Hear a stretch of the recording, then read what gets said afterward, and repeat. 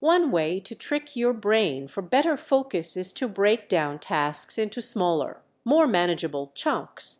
This helps to avoid overwhelming your mind and increase productivity. Additionally, setting specific goals and rewards can motivate the brain to stay focused. Another technique is to eliminate distractions, such as turning off notifications or finding a quiet work space. Taking breaks to move around and stretch also helps to combat mental fatigue.